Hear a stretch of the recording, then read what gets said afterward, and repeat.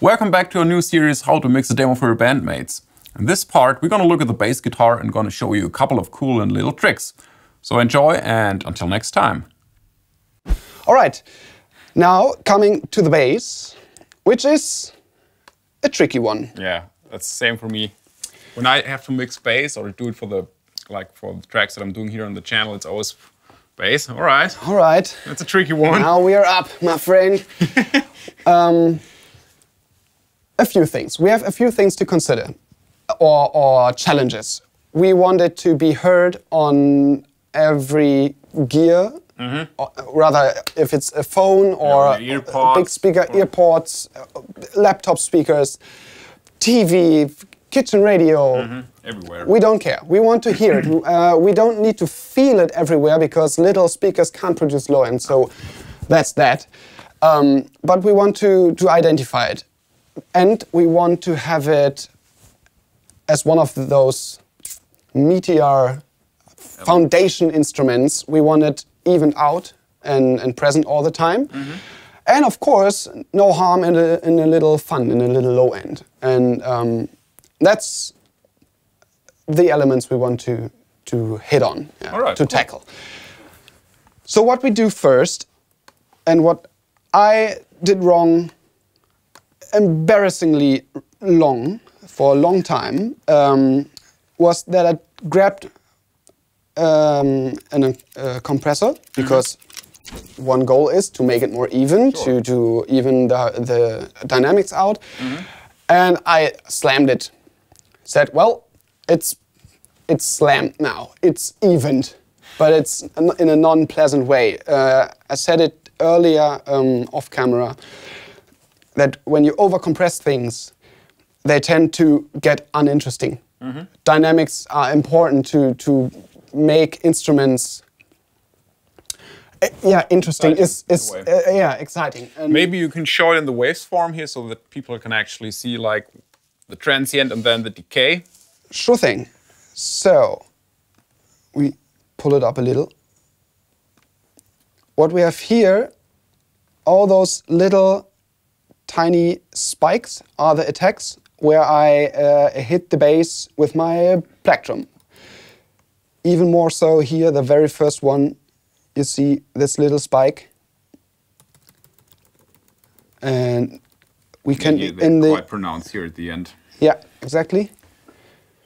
Those areas are the uh, the what we call attack, and this is the sustain part, the de- decay, and we want to to even that out and to make every note as loud as the other, relatively.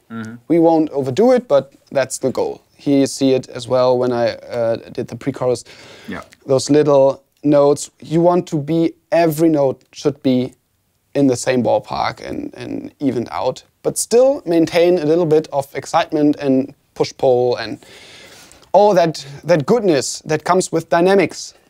So we actually don't do what I described with slamming it in one compressor and hoping for the best, but we um, we develop a series of problem solvers. So first thing, what I like to do is get myself um, a little saturation, maybe with a tube. Every DAW will have Like something distortion or saturation in the ballpark. yeah. yeah. I tend to, I really like that one for some reason. So we will try to get in the loop back.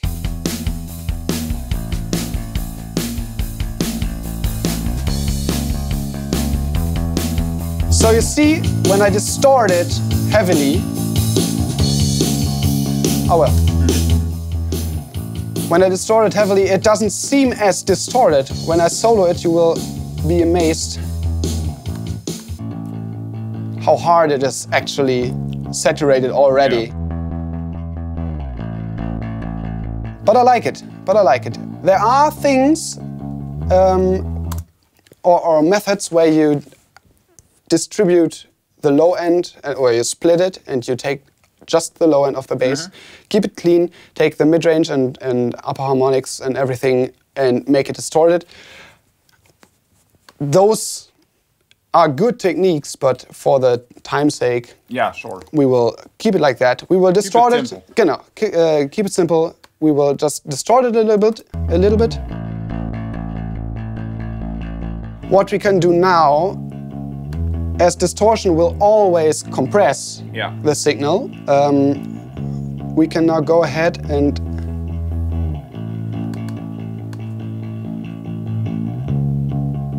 give it a little bit more beef just above the kick drum. You don't Okay. want to to to So uh, you don't get any interference between the kick and the and the bass. right? exactly exactly. And then a good part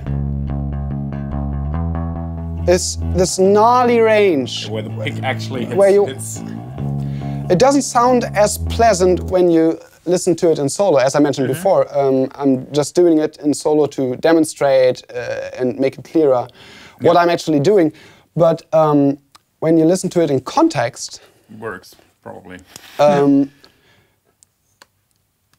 so I will solo the drums as well. Yeah, it's just like more in your face right, right it gets away. yeah, exactly.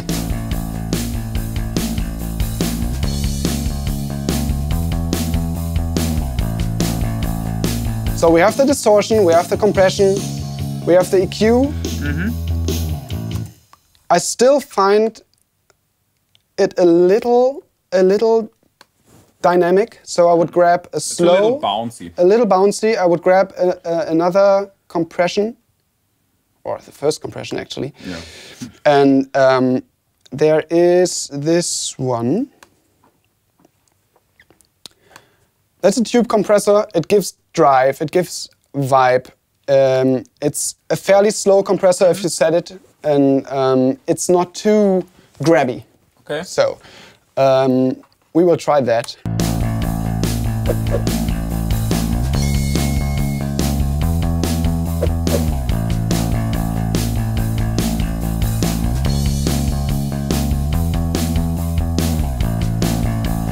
Set it to slow as possible. I want the, the block of the mm-hmm. of the plaque. I want it all there.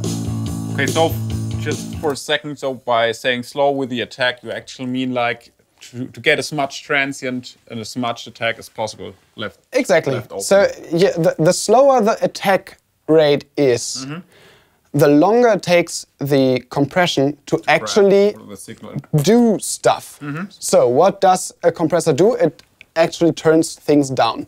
Yep. That's all it does. Loud parts it turns down. When you see it as a waveform that is in a block and doesn't have dynamics, and you put a compressor on it, the one part that is not changed at all will be the loud thing that is our plectrum. It's very short amounts of time still. It's not like bah, things. But it's still audible. But um, the rest will will be turned down. So we just allow a little bit of of Like aggressiveness. Yeah, a little booty slapping, and that is that. Actually, I don't want to overdo it.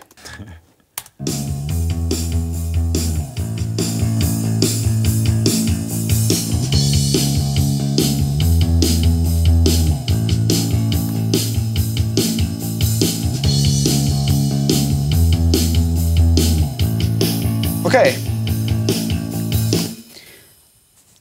I would assume that's a rock bass. Sure. Nothing wrong with that.